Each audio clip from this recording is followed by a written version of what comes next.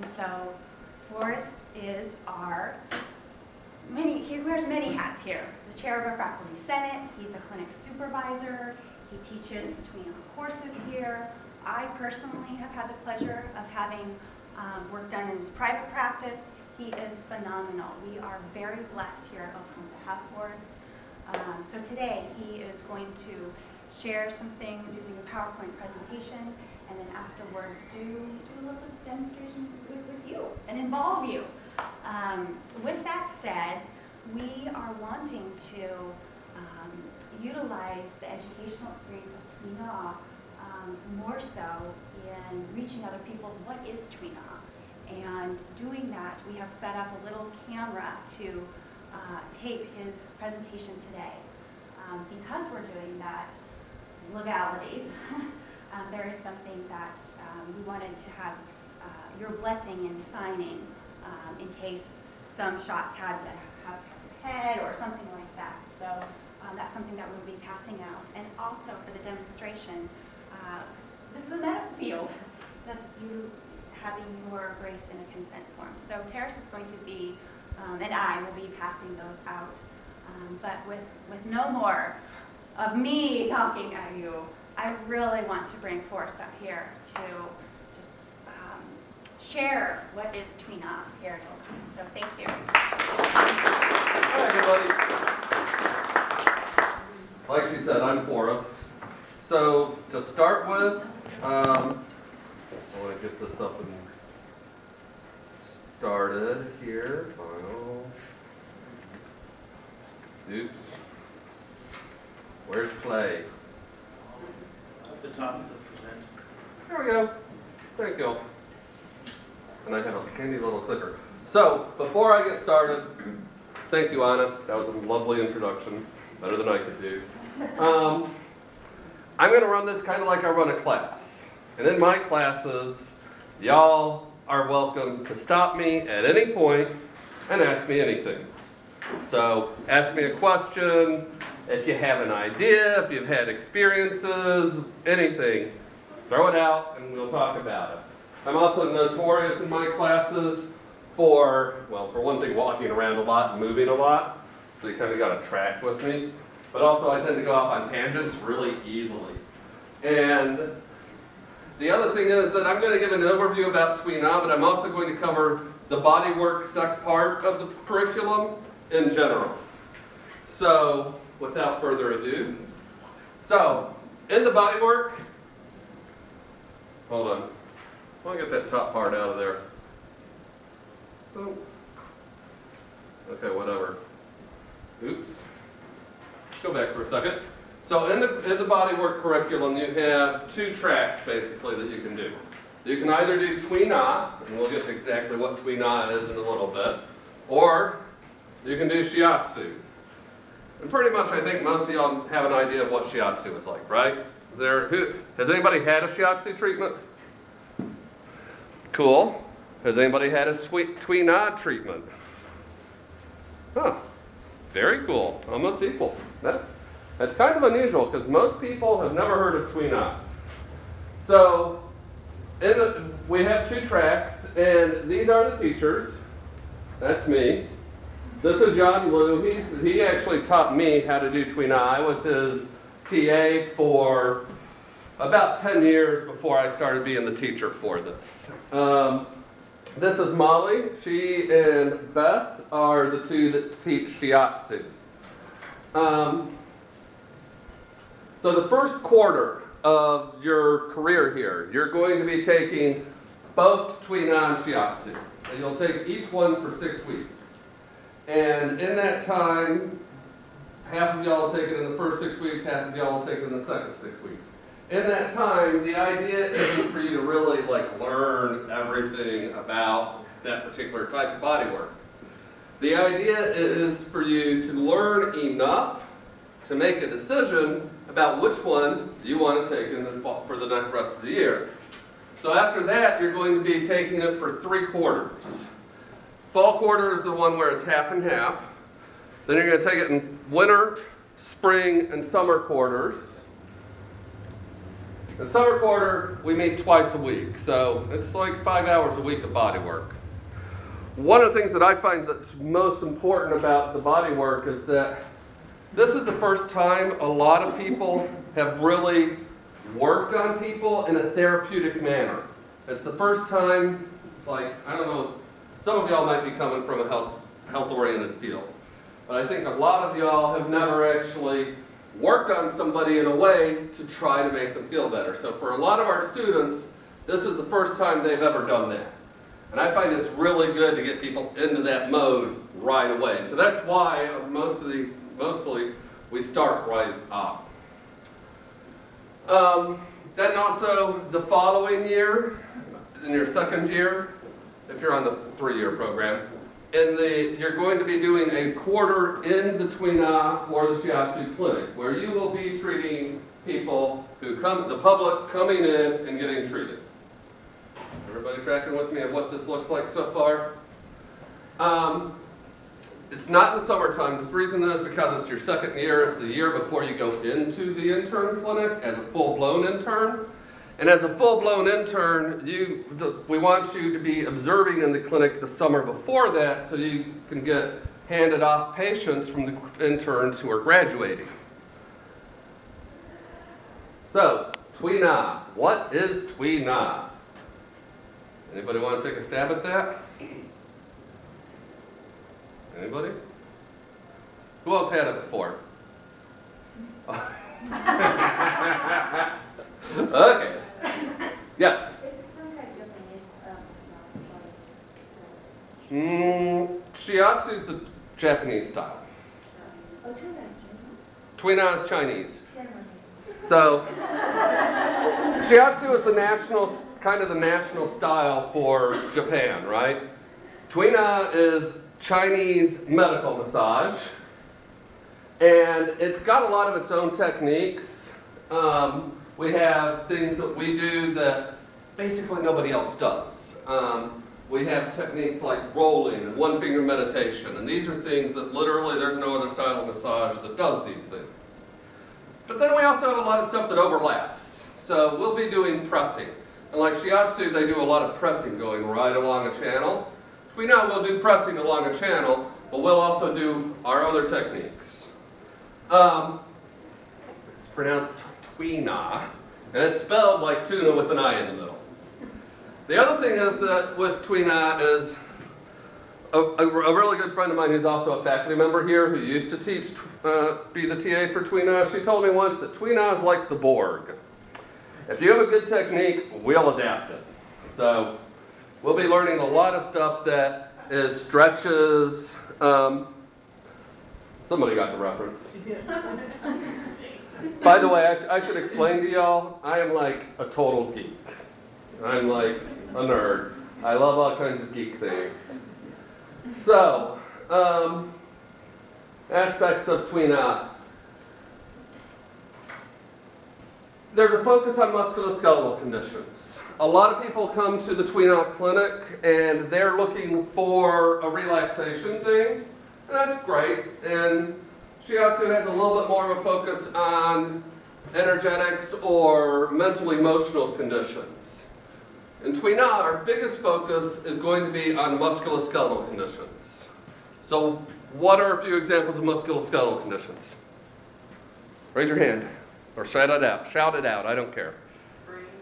Sprain. Sprain. okay, good. And what? Dislocated shoulder? Dislocated shoulder. Actually, I have a funny story about that. The, we we don't teach how to put dislocated shoulders back any longer, but we used to. And the last time I went skiing, I downhill skiing was the first time I'd gone in like a decade. And of course, I dislocate my shoulder while I'm skiing. Fortunately, the week before, like the Wednesday, that was the weekend, the Wednesday before, we taught how to set a dislocated shoulder in Tuina. So I'm like sitting there and my arm's dangling and I'm, my friend's like, are you okay? I'm like, no, here, pull on this. And he's like, pulls on my arm and I'm like, all right, twist. He's like, this way. I'm like, no, the other way. Pops it back in. I ski for the rest of the day, no problem. So, sprain, dislocated shoulder. What other kinds of things are musculoskeletal conditions?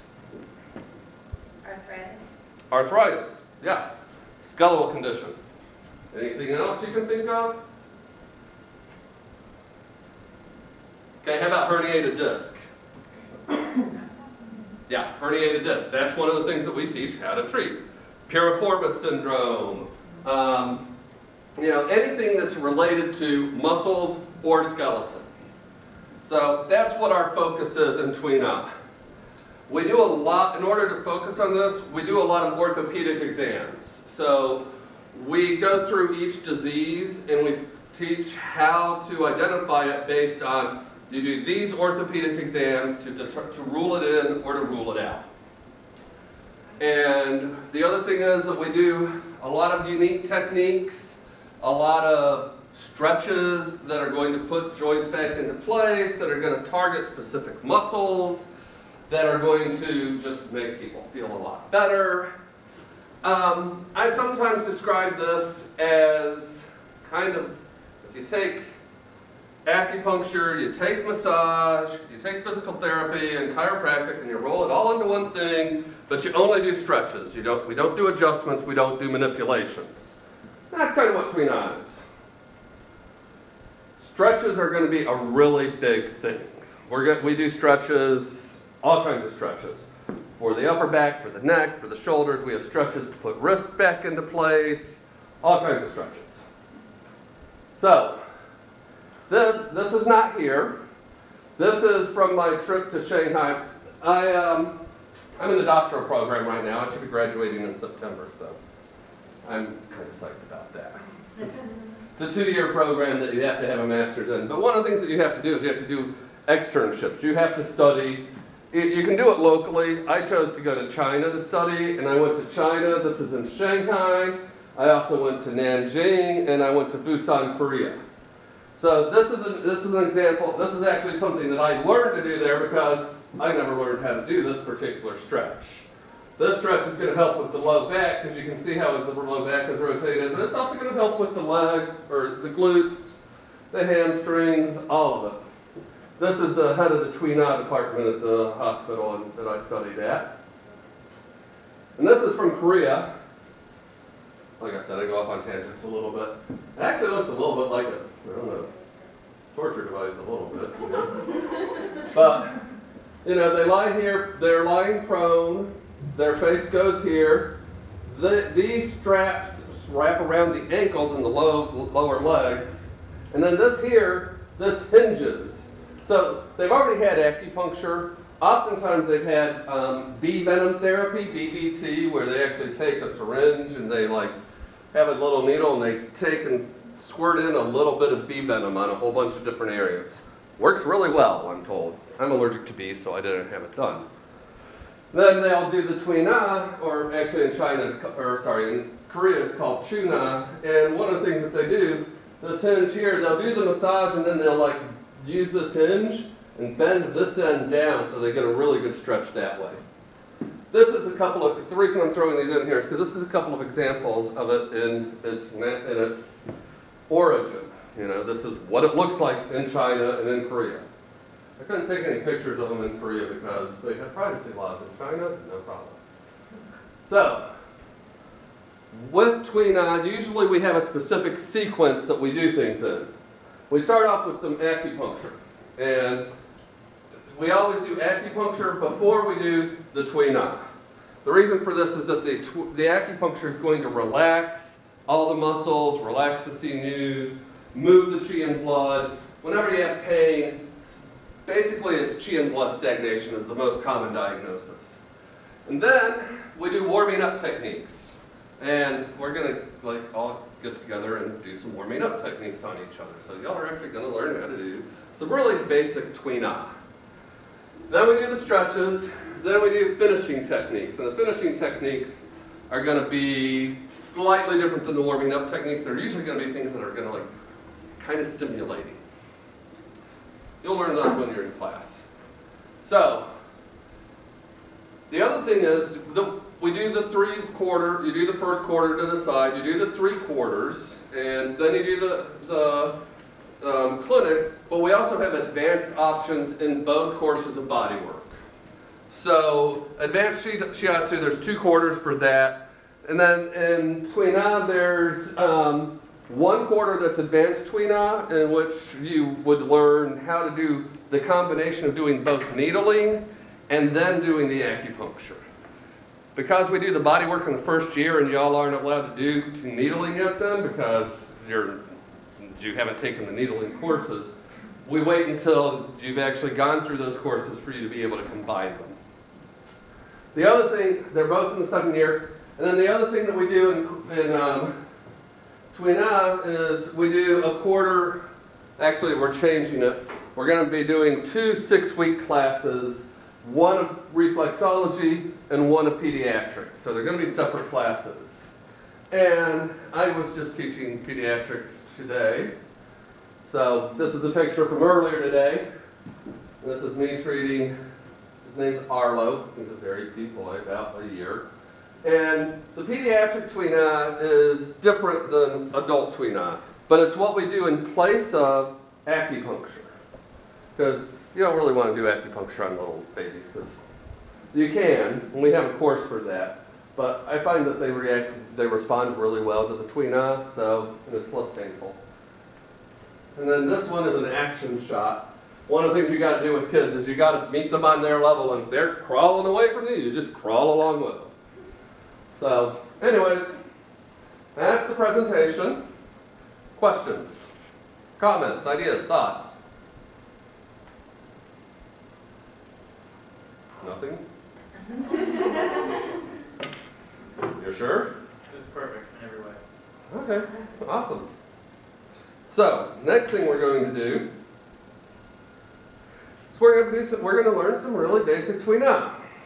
Now, a lot of people, not only is this the first time that they've, you know, ever treated people therapeutically, a lot of people, this is the first time they've ever really, like, touched other people or been touched.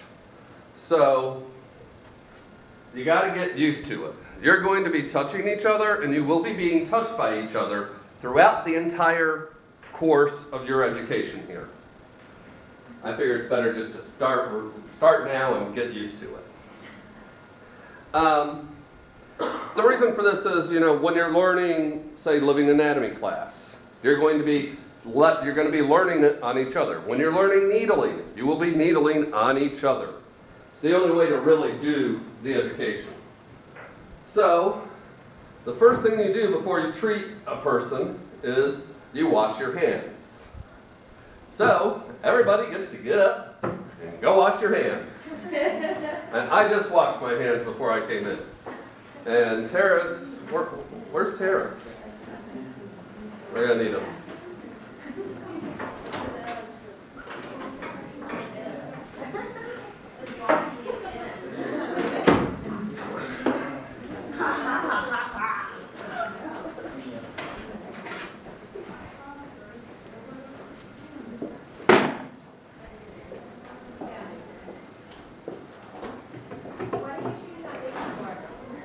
Um, it, it wasn't, that would have been a great question to ask when everybody was in here. Um, it was more for demonstration purposes. The woman, um,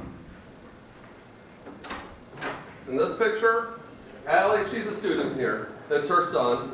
And so she's in the class. And in order to demonstrate how to do it, we uh, actually, you know, bring kids in to demonstrate on. So we had her bring in her kid, and he didn't actually have any problems that we were working on specifically. What we did for him, and since he didn't have anything like that, was basically a constitutional treatment to keep him strong so that way he doesn't develop any problems. One of the things that everybody talks about with, you know, acupuncture and East Asian medicine, traditional East Asian medicine, is that it's preventative. That's what we were doing. We were doing some preventative work. All right. The other thing you're going to have to do is you're going to have to pair up and get away from the table. So move the chairs back.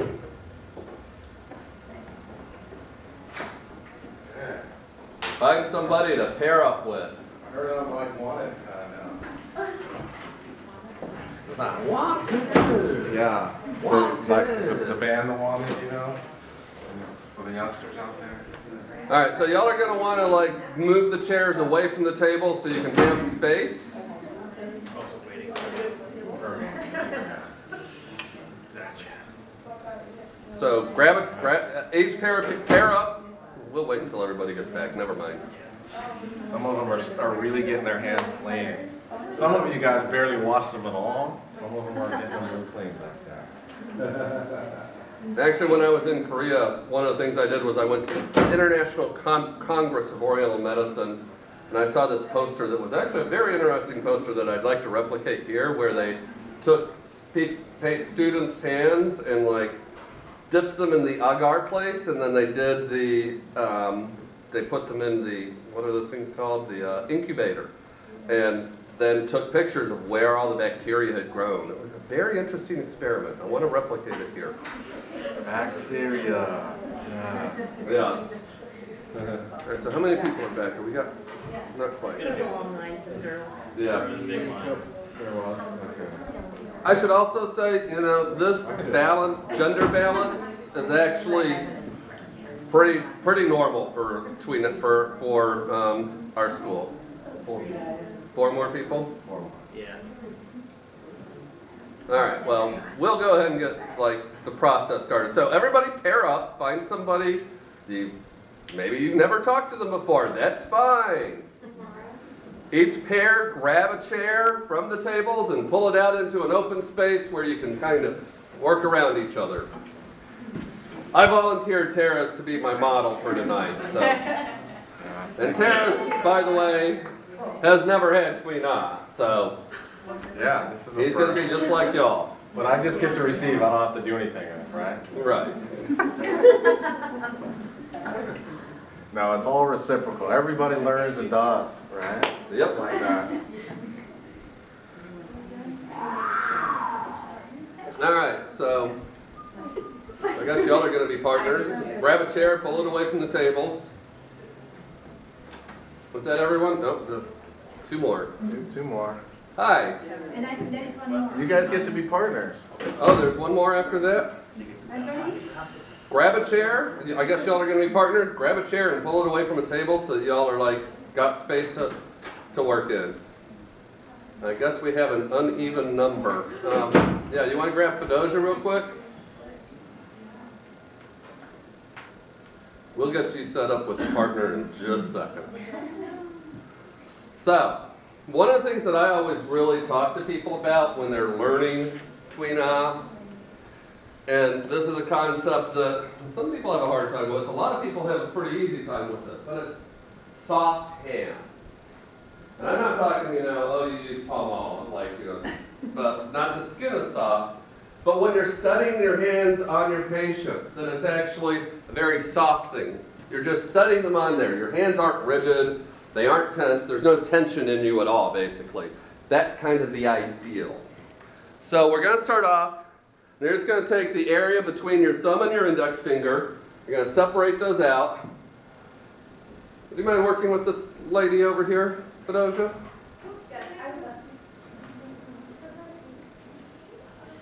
Thank you. So you're just going to take this area. The, this is in in um, traditional East Asian medicine. This is called the tiger's mouth. Kind of look at it, and a tiger's mouth, right? So you're just going to take that tiger's mouth, the area between the index finger and the thumb, and set it on the person's shoulders so that the thumb is behind them and the, the fingers are in front. Now just very, very relaxed, and then you're just going to squeeze a little bit, and as you squeeze, you're going to pull up and then kind of drop back a little bit. So this is a rhythmic thing. So obviously you have to tighten your hands a little bit to do it, but the hands are soft. So you can move the hair out of the way.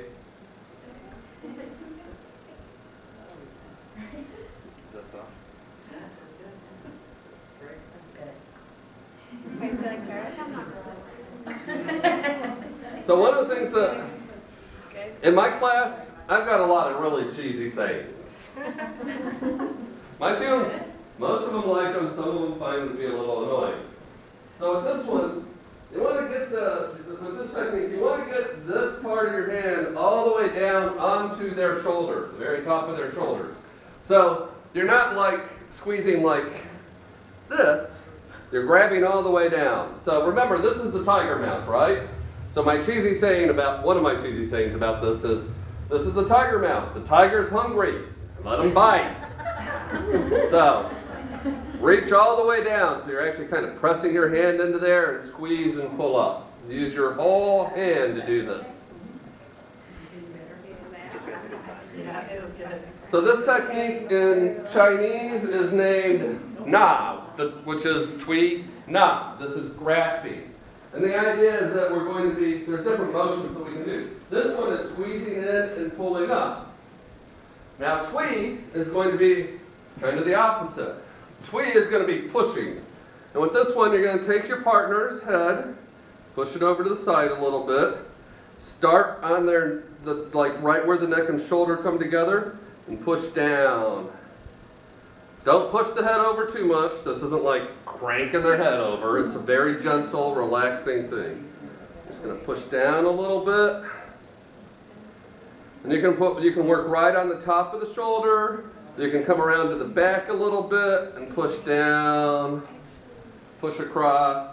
And the motion with this one is it's going to be deep and moving along. So it's kind of the opposite of grasping, right? Because grasping was squeezing together and pulling up. This one's pushing in and moving outward.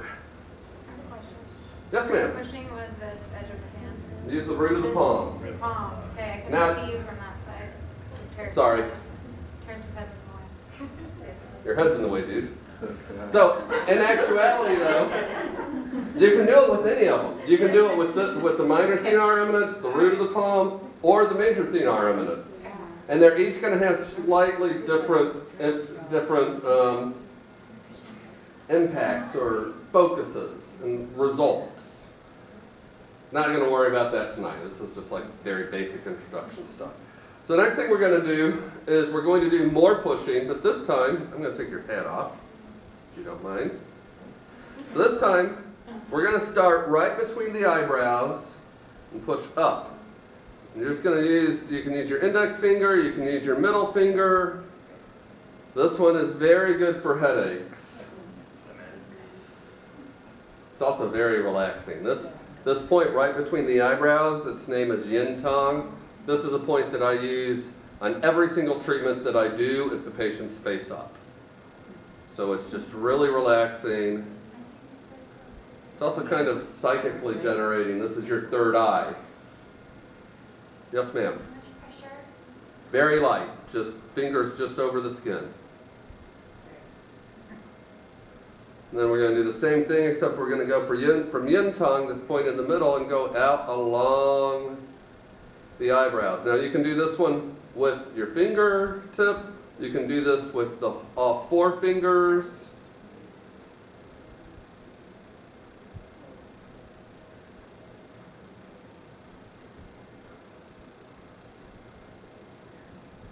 Then we're going to go to the temple. We're going to press in just a tiny bit, not much, just a little bit, and rotate. This is called pressing kneading.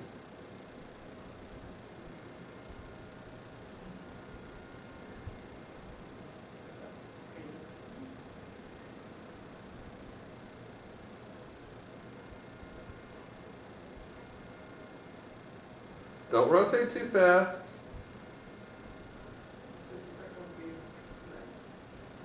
I was waiting for somebody to ask that question.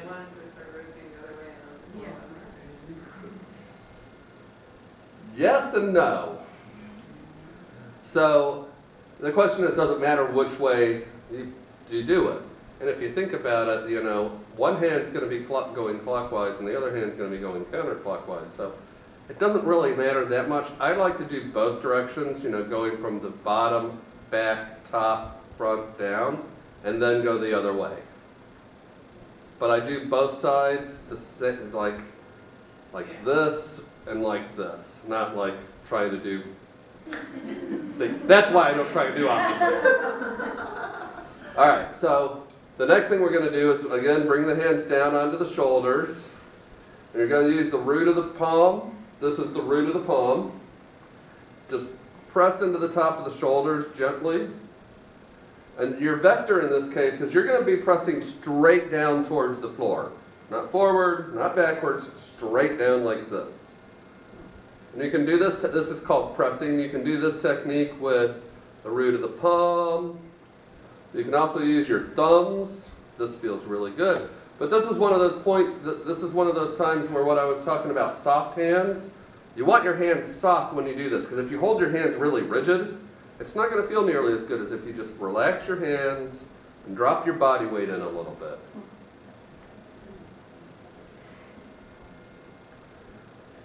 And you can kind of work around on the shoulders, different parts. And then the last thing that we're going to do for this evening, before we switch, we're going to use our forearms to do the same thing. So one of the things I always do, I never button up my sleeves because I'm always pulling up my elbow, my, sli- my sleeves above my elbows so I can do a lot of techniques like this. Use this part of your forearm or your elbow right where the ridge of the ulna is. You're going to place that right onto the kind of where the shoulder and the neck come together. Lean forward and then just drop your body weight straight down. Just let your knees go out from under you a little bit so your weight is going straight down.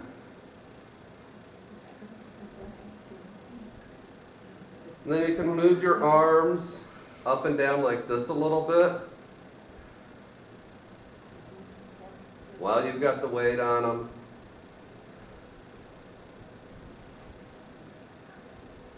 All right, I lied. There is one last thing we're going to do because this one's a little bit of an intense technique. Just relax your hands entirely, and this is a hard notion to get you, but you're going to relax your hands entirely and just pat. But keep your wrist completely relaxed. If, if you've ever done drumming, hand drumming, this is basically the same thing. And I'm sure some of y'all have done massage before, so you know what this is like. So. All right, and that is a very basic intro to tuina. Switch who's doing what to whom. Oh no, you can stay right there. Good to say, okay. Oh, okay. Because I gotta walk around and talk. Yeah, okay, well, that's good. I I think they're the third eye thing. That's nice. Third eye. All right, so is everybody ready? All right, so we're gonna start off with a little bit of grasping. Now remember with grasping, this is the tiger's mouth. This part right here. You're gonna set the tiger's mouth all the way down on the shoulders. Keep your hands nice and relaxed though. So you bring the tiger mouth all the way down. Remember, the tiger's hungry. Feed the tiger. My other cheesy saying is the name of this is grasping, and grasping's like money, so grab as much as you can. Not that everybody has that attitude, and I don't really, but. So, you're gonna bring your hands all the way down, use your, squeeze your thumbs into your fingers, pull up while you do it, and give a little bit of a roll. And this one, kind of rhythmic. Now, one of the most common mistakes I see people make is they're like, "Eh, I'm gonna go really fast and do this. My cheesy saying for that is, okay, dude, more Mozart, less Metallica. So, nice squeezing, pulling, kind of pull back a little bit.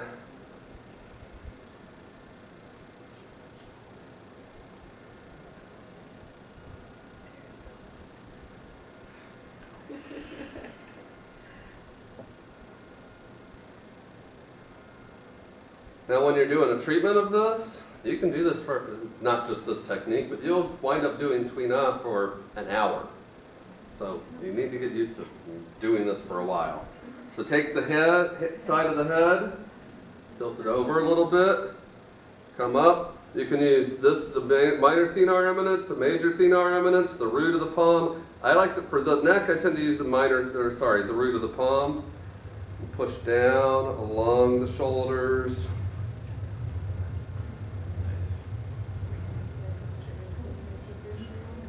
Don't, don't tweak on the head too much.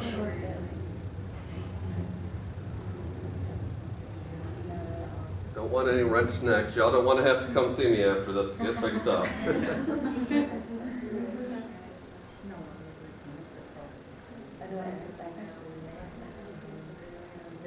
Switch sides if you haven't switched shoulder you're working on. Now I'm gonna demonstrate a more advanced technique that y'all don't get to do yet. And that's using the forearm going down. Kind of fun stuff you can play with and get new ideas. All right, so the next thing we're gonna do, we're gonna go from yin tang, which is right between the eyebrows, up to the hairline, alternating fingers. This one is very gentle, very little pressure, just running it along, right along the midline, from the eye, middle of the eyebrows up, right in the middle. And this is another one of those where it's much more Mozart and not so much Metallica. You want this to relax your patient.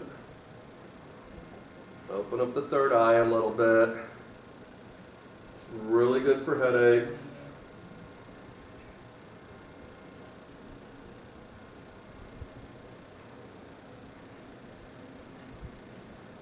Okay, then we're gonna go from yin tang, across the top of the eyebrows, out to the temple.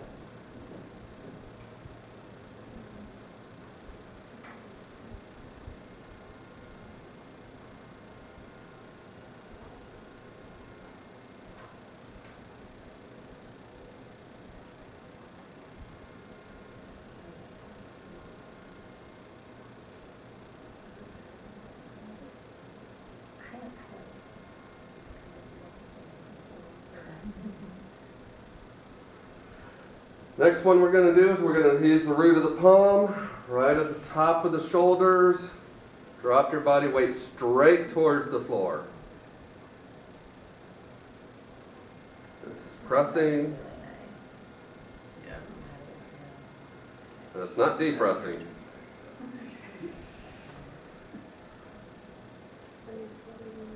So you can like drop your body weight in and then let go a little bit, come up, move your hands out a little bit and go out. Again, drop your body weight straight towards the floor. Let it sit for a second, come up, move your hands out a little bit more. So you're working the whole shoulder from up next to the neck, out to the edge. You can also use your thumbs for this.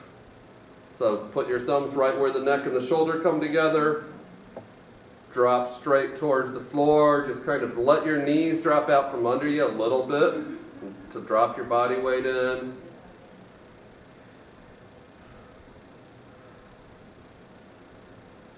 And then the last one we're going to do is this part of the forearm. Kind of right, right after the elbow. And it's going to be the bony ridge there. It's a pretty good part to use. Again, we're going to go towards the right where the shoulder and the neck come together. Drop your body weight straight down towards the floor. Then you're going to move your arms down in front and up.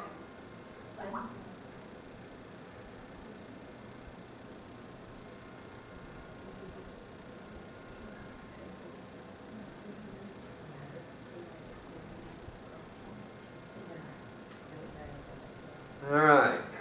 So, how's everybody feeling? A little bit more relaxed, maybe? So, one of the things that we're working on at OCOM is introducing, and we've actually we've introduced, and we're working with reflection and being conscientious about what we're doing after we're doing it, reflecting on what we've done. So, what did people feel like when they were receiving this? How did it feel? What's the, what's some words to describe that? Relaxing. Relaxing. Lovely. Lovely. Anybody else? Meditative. Open. When you were performing it, how did you feel? Attached. Feeling what? Attached. Attached. Focused. Focused is good. Attached is good. Open is good. Basically, most sensations are good. The important thing is being present. Anything else people felt while they were doing it? Excited to learn it. Excited to learn it. What I hear over here? Connected. Connected. Giving. Good. All right. Who has questions? What?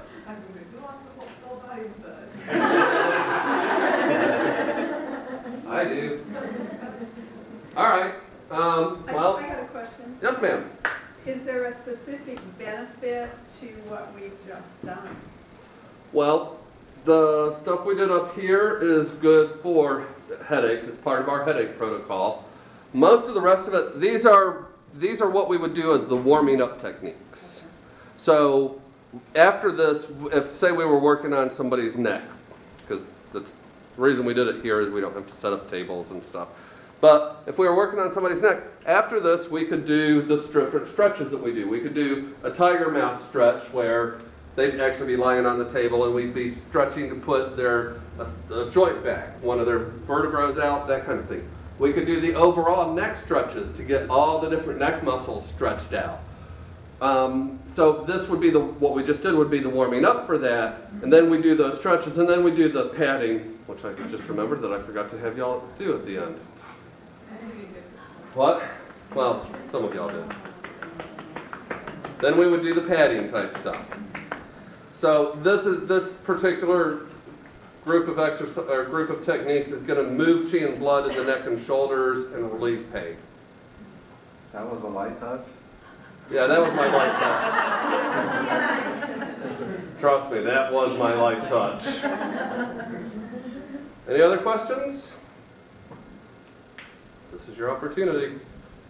Well, I, I think that one.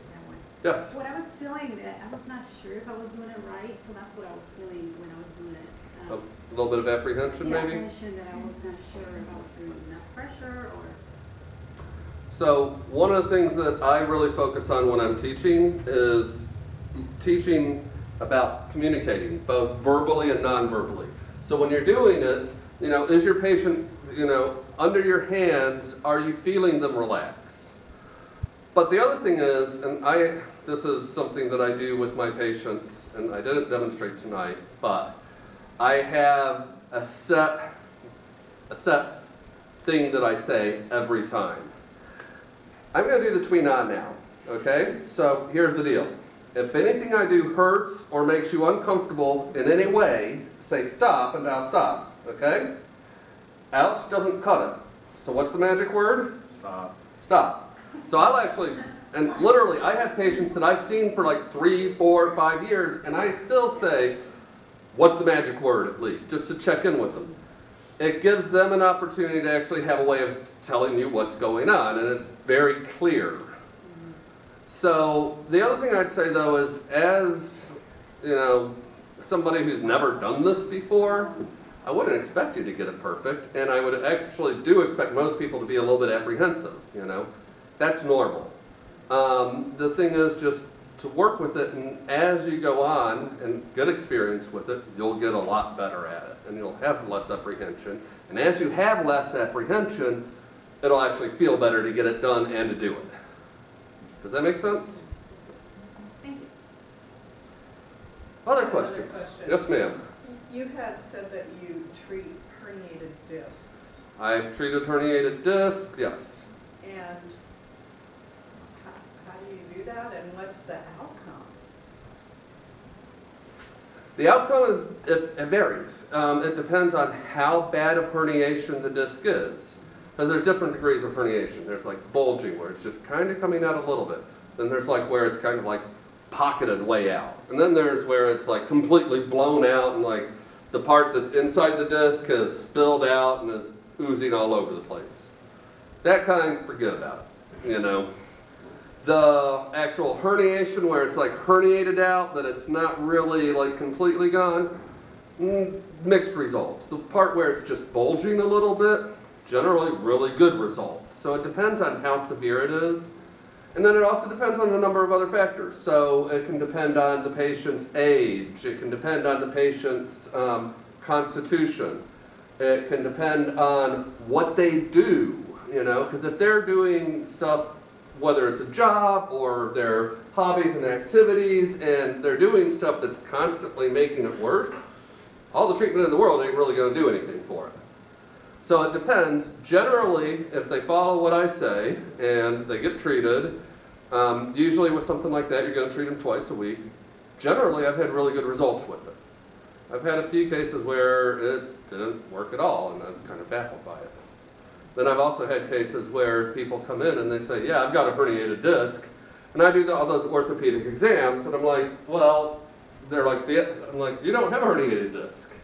That will, you know, and they're like, I'm like, you have piriformis syndrome. It's this muscle back here that's squeezing on the nerve that's causing your pain radiating down the leg.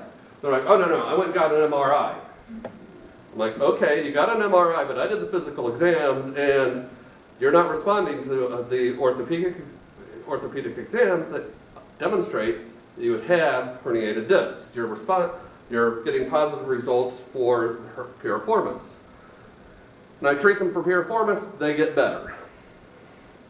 So, one of the things that we teach is about how to differentiate diseases. I think I've kind of gone on and on on that topic, so sorry. Did that answer your question at all, really? Yeah, yeah. Okay.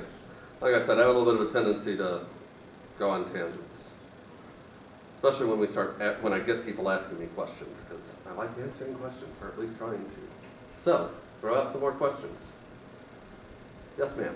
So if somebody does have, um, you know, pinched nerve done, you treat that successfully, it's a, it's a good, it's a good treatment for that. Yeah. Yeah. And What one, did you call it? um, well, there's different causes. That, basically, that's sciatica. Uh, where they have pain radiating down the leg. There's a lot of different causes for sciatica. And I should actually make something clear. When it is a herniated disc, I make sure to work with the doctor, and you really should work with their primary care provider, at least making sure that, the, that you're on the same page with them and talking with them and, you know, making sure that the patient knows that they need to do that. But, yeah, it's a really, it, it's, Tuina is really good for any musculoskeletal condition. So sciatica, again, it depends on what's causing it. You know, if it's bone spurs that have grown into the space between where the nerve root comes out and it's bone spurs, you're not going to get rid of them. You can make it so that they don't hurt as much, but you're not going to get rid of them. Um, but, you know, any relief is better than none. Other questions? Side of the room is not doing anything over there, it's all over here. Well, that's because the light's on over here and it's not on over here. They're all like, mellow. Anybody? I have a question. Okay. How exact does it get with the, on the light side or, with the, with the point like where you start, um, this motion or how exact is that about where the center is? Or is that just a, cause I felt like there was a sort of a sweet spot where I wanted her to put her finger, but I don't, I mean, is that just a personal thing or is it, there's a spot? So that starts getting into the question of where are acupuncture points? And to me, acupuncture points move around. And there is like one really exact perfect spot that's more important for needling than for tweeting because your thumb is going to be a lot bigger than that point. But to me also like, I'm going to I'm gonna use Terrace here as a uh, example, you know, yin tang could be here, could be here, could be here, and it moves around from person to person, but also moves around on the same person in a small area, you know, I mean, like this big. It moves around within that on the same on that person. So that's my view of it. Now, how exact do you have to be? Um, that depends on what class you're in. In point location, you have to be fairly exact. In acupuncture techniques, you have to be more exact. In Tuina, it's a little bit less important because, like I said, you know, we're using thumbs, we're using fingers, we're using elbows and stuff. You're using your elbow, as long as you're in the right general vicinity, you got the point. That answer your question well enough? Now, the flip side to that is the more exact spot you get. If you can find that sweet spot and just like set your finger on it, that's going to get a better result than if you're like over here off of that. Anybody else? What kind of things would make you like To me, it, it's energy. Oh. Ener, you know, it's energy, and energy moves. Energy does not stagnate. Well, no, actually, that's not true. Energy does stagnate, and that's the problem. But you know, the only thing that doesn't, energy, if the energy isn't moving, then they're dead. That's that's when you're no long. That's when your energy is no longer going to be moving. Again, that's getting into philosophy, though. Anybody else?